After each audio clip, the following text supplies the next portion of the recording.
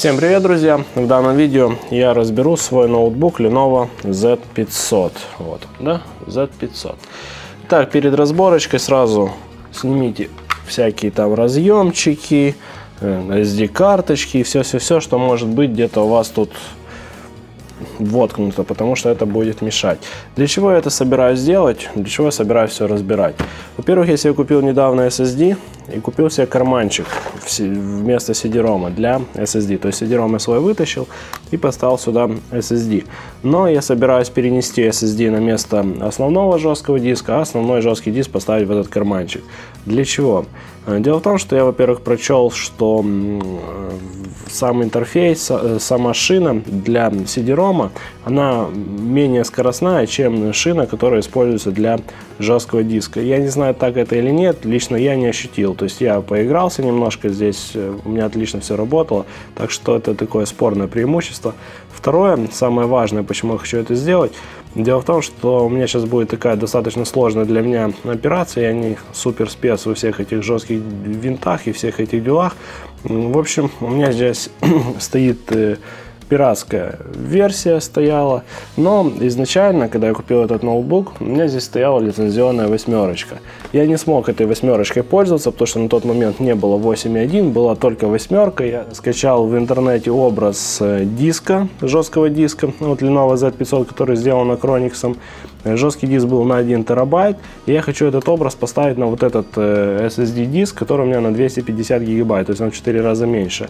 Но с этим есть небольшие проблемы, и я хочу вытащить этот э, основной свой диск, потому что у меня там есть очень важные данные, есть много видео, которые я еще не обработал, которые еще не залил, и я боюсь, чтобы случайно что-то здесь не удалилось. То есть я хочу его просто вытащить, этот поставить и работать, а потом уже поставить сюда жесткий диск.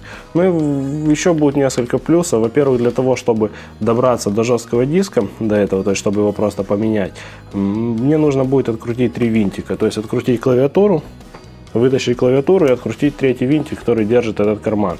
Вытащить карман и дальше я могу поставить, допустим, другой какой-то жесткий диск, там слить с него какую-то информацию. Ну, такое спорное преимущество. Ну и еще одно спорное преимущество вот данного решения, чтобы здесь стоял основной винт, а SSD, на котором будет система, будет внутри, это то, что в случае необходимости, ну, мало ли, вообще вряд ли это будет, но если вдруг мне понадобится CD-ROM, он у меня есть дома, в принципе, там классный DVD-ROM, то есть он пишущий, все классно, но дисками сейчас почти никто не пользуется, и я его 100% не смогу продать, так что он у меня будет просто дома лежать, и вдруг, если там срочно понадобится прочесть какой-то диск, я смогу опять же открутить три винтика, снять основной основной диск, поставить CD-ROM, сделать нужные дела и потом основной диск засунуть обратно. Но основной, это я имею в виду вот этот терабайтник, э, не твердотельный, а обычный диск со шпинделем. А этот SSD будет у меня здесь постоянно прописан, на нем будет система и больше ничего. Ну что ж, хорош разглагольствовать, давайте будем разбирать. Данный ноутбук очень легко разбирается. Вообще я вам рекомендую перед тем, как разбирать какой-то ноутбук, скачать в интернете сервис-мануал на данный ноутбук и посмотреть, как он разбирается. Потому что, когда инженеры конструируют какую-то технику, они ее конструируют с таким расчетом, что ее будут обслуживать какие-то инженеры. Причем не обязательно там сверхопытные инженеры. Поэтому в сервис-мануалах делается очень подробная инструкция, как его разобрать, причем правильно. Сейчас вы поймете, о чем я, когда я буду снимать клавиатуру. Дело в том, что я вот посмотрел на YouTube один ролик, я видел, как человек ковырялся с этой клавиатурой. Вот э, остановитесь сейчас, все равно вы видите, как я эти винты откручиваю, вам, я думаю, это неинтересно. Просто остановитесь и перейдите внизу в описании, и вот посмотрите этот ролик. А потом посмотрите, как я сниму клавиатуру. Так, снимаем здесь.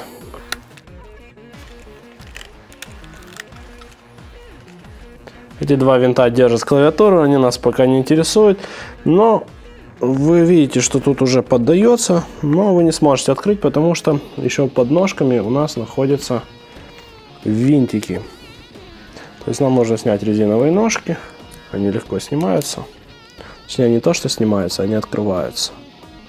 Раз.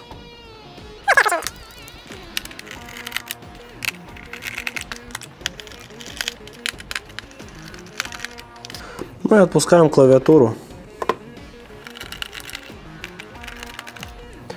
Так, Сейчас словим все наши винтики, которые не вытащились. Так, два есть. Третий, четвертый, иди сюда. И вот они, винтики от клавиатуры. Они вот такие вот длинненькие.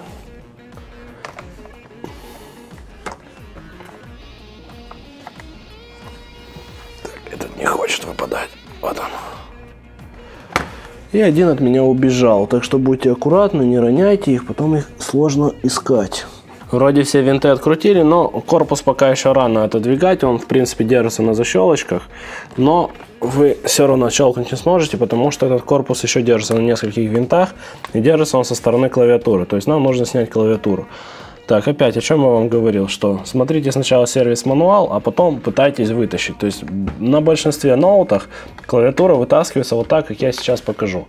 Но, тем не менее, многие люди почему-то стараются ее вот отсюда вот выковырить. Так, что нам нужно? Я беру тоненькую отверточку или скрепку и засовываю вот э, в отверстия, э, в которых были винты, которые крепили эту клавиатуру.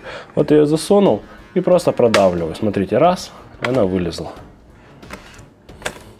Здесь нужно быть аккуратным, потому что есть шлейфик.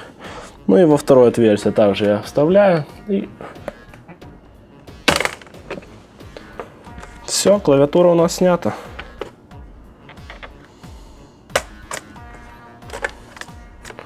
Аккуратненько ее приподнимаем. И отпускаем шлейфик. Все, дальше откручиваем еще несколько винтов.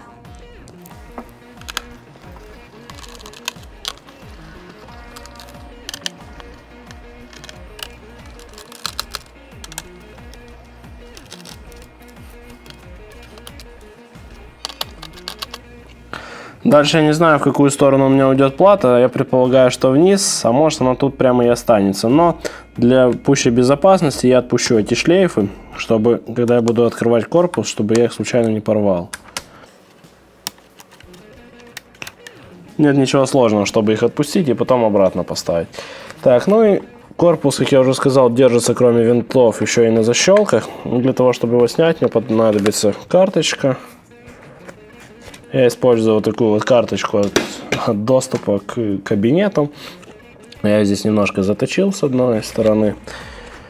Давайте так положим его аккуратненько и попробуем.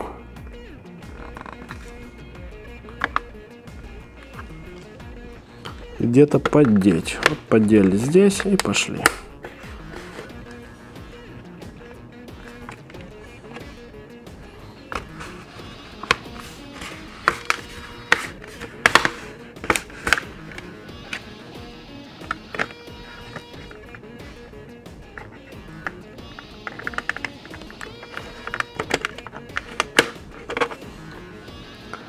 Вообще, что я могу сказать о данном ноутбуке? У меня первый ноутбук от Lenovo, это он. До этого у меня был Samsung, в принципе к Samsung у меня никаких претензий не было. Вот, но Lenovo меня очень приятно радует, очень приятный ноут, классный ноут. Все, крышечку сняли, здесь немножко пыли, протрем ее потом. Ну и снимаем на жесткий диск и меняем его на SSD.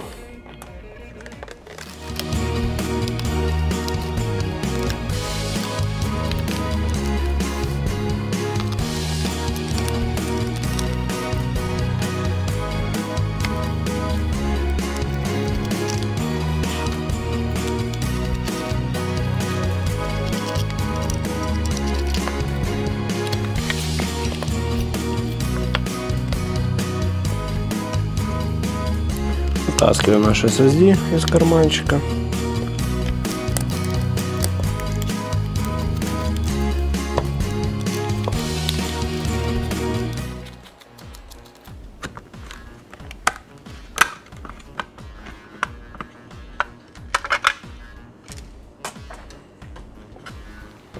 Что он вот так стоит, значит ставим его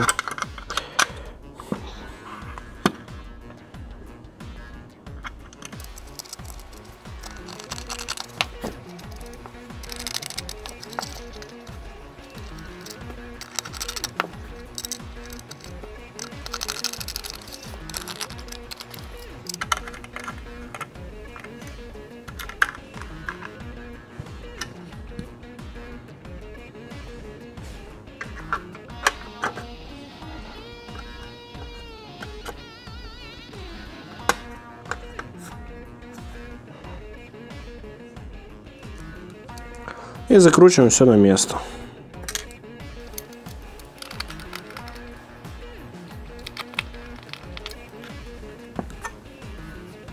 В принципе, все, можно собирать ноутбук. Как видим, плата осталась на верхней крышке. Я еще сейчас немножко ему почищу вентилятор, так как я его уже разобрал. Ну что ж, ребята, теперь осталось только в обратной последовательности собрать ноутбук, ну и установить вот этот диск на 1 терабайт со шпинделем в карман. Он немножко выпирает, но это ничему не мешает, карман становится на свое место, все отлично, никаких проблем нет. Единственные проблемы у меня возникли с установкой Windows. Дело в том, что у меня э, восьмерка с завода была лицензионная, и ключ от этой восьмерки э, хранится в BIOS. Когда вы будете устанавливать Windows, если вы будете устанавливать ту же версию Windows, которая у вас была, то у вас при установке ключ автоматически подхватится из BIOS, и Windows вас не попросит вводить никаких данных. Естественно, проблема была найти, какой же Windows здесь стоял, потому что здесь э, восьмерка, их бывает огромное-огромное количество всяких разных. И я не нашел ничего лучше, чем скачать образ диска, у такого же компьютера, то есть кто-то, когда купил компьютер, сделал образ жесткого диска Acronix, ну и выложил на торрент. И, естественно, я это скачал и решил э, развернуть этот образ на свой SSD-шник. Но проблема в том, что образ был снят с винта на 1 терабайт, а SSD у меня на 250. Естественно, это все просто так не разворачивалось. Я попытался править файлы, править, э, смещать разделы, но там есть еще файл контрольной суммы, то есть его нужно было пересчитывать. В общем, с этим я справиться не смог, и потом я подумал, что в принципе, зачем мне мучиться с этим разворачиванием, ведь я же могу просто установить операционную систему Windows 8. И если я буду устанавливать именно ту систему, которая у меня здесь в компьютере была изначально, то у меня все само э, встанет, сам ключ из BIOS подхватится, то есть все будет нормально. Не нужно мучиться с этим разворачиванием образа. Более того, там понаустанавливается всякое огромное количество разных ненужных программ. И оставалось только найти Windows, который здесь был. Я почитал на форумах, и всех в один голос твердят, что если у тебя Windows был на компьютере завода, то 100% там стоит версия Single Layer. То есть это может быть либо английская версия, либо русская версия, но на один язык. В общем, я скачал все-все-все-все-все, перепробовал, не знаю, наверное, 5 или 6 разных образов, именно чистых, официальных, и русскую, и английскую, и Home и так далее и тому подобное. В общем, ничего, ничего у меня не запустилось. Потом я стал смотреть все-таки, что же я за компьютер купил. Я когда переписывался с человеком, который мне покупал компьютер, там была вот эта вот строка его характеристик, и там было Windows 8 MM. Вот MM непонятно, что это такое, я стал гуглить, нашел на Lenovo, кстати, форум, на комьюнити Lenovo, там прикалываются, ну, или серьезно, или прикалываются, я думаю, что прикалываются, говорили, что MM это означает, что минус метра, но метра это есть вот этот интерфейс восьмерки, который, на который все плюются. Вот, наверное, прикалываются.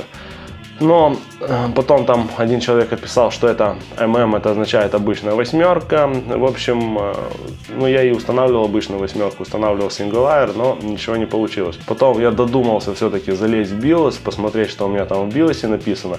И в BIOS там было написано, что у меня э, операционная система, скачал Windows 8 мультилайер, запустил установку, и она сразу же встала без никаких проблем, подхватила ключ, то есть, э, ну, разворачивать образ с жесткого диска не пришлось. Установил с нуля, поставил нужные программы, все, что нужно. И получил, опять же, э, восьмерку, обновился до 8.1. И, в принципе, доволен, привык уже, пользоваться можно. Восьмеркой было невозможно пользоваться, а 8.1 нормально работает, очень нравится. Ну все, ребята, всем спасибо, всем пока. Если видео было вам полезно, ставьте лайк, подписывайтесь на канал. Какие-то вопросы, предложения, может свои идеи, пишите в комментариях под видео. Удачи вам, всего доброго.